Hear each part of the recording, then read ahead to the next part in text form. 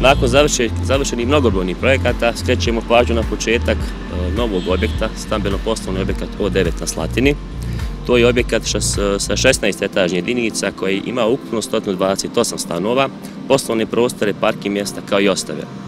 Riječ je o gradnji prvi pametnih stanova u Tuzli, što će uveliko poboljšati standard življenja naših kupaca. Završetak radova je planiran u maju, najkasnije do decembra 2020. godine. Također želim istaknuti da je počela prodaja stanova, potencijalni kupci se mogu više informisati na našoj web stranici, Facebook stranici kao i prostorijama našeg društva na adresi Fragrige Martića broj 8.